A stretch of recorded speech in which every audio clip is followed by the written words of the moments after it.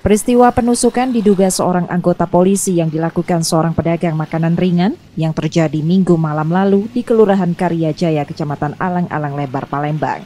Ketua RT di lokasi kejadian yang ikut saat polisi melakukan olah TKP setelah peristiwa itu menerangkan. Penusukan terjadi karena pelaku tersinggung pada korban yang diduga sebelumnya sempat memarahi pelaku karena lambat menyiapkan pesanan korban. Korban saat itu dibawa warga ke rumah sakit dan pelaku melarikan diri. Dari ada apa? Pak katanya ada polisi kena tuja katanya. Loh, polisi mana? Ya. Tak tahu pak katanya. Itu jas siapa? Tuja tukang roti bakar katanya.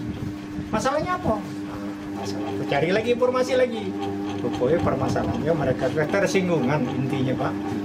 Apakah si korban ini mesan roti men- terdahulu mungkin dia lagi pergi dulu atau mereka tuh mesan roti masih ada orang yang yang dah mendahului beli roti tadi. Ada salah orang tiga itu pak. Orang tiga. Nah datanglah.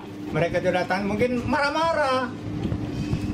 Marah-marah aku dengar dari informasi dari masyarakat. Si korban ini? Ini korban ini. Marah udah itu spontan minta sojo uji masyarakat itu yang tahu saksi. langsung tujanya tujanya di sebelah sini pak Setelah kejadian, polisi sampai saat ini belum bersedia memberikan keterangan terkait peristiwa tersebut. Sementara korban sudah dalam perawatan di rumah sakit. Reski Oktora, Muklas Diferensial, Kompas TV, Palembang, Sumatera Selatan.